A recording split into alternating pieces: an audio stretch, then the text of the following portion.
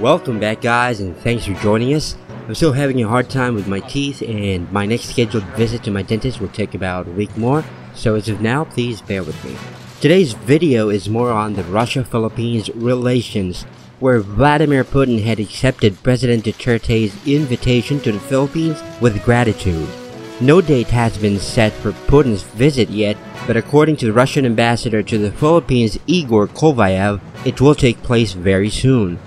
President Duterte's recent visit to Russia secured more than 620 million US dollars in business deals.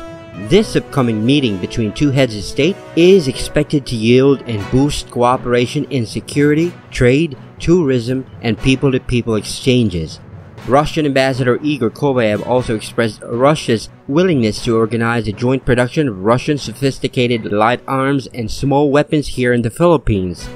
He also stated, quote unquote, we are ready to supply our sophisticated technologies in order to help your country develop your own defense industry, and where the Philippines will be the exporter of advanced small arms and light weapons. This strengthening of relations with Russia is something very new for the Philippines and likewise Russia, but both countries seem to be eager to work with one another and is shown with how the heads of state go beyond their usual foreign diplomatic course of action.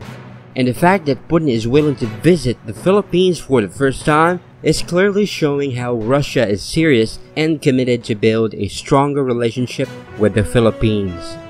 What do you guys think about this? Do you think this will help the Philippines? Or perhaps ignite a better relationship with the Philippines' existing allies like the United States.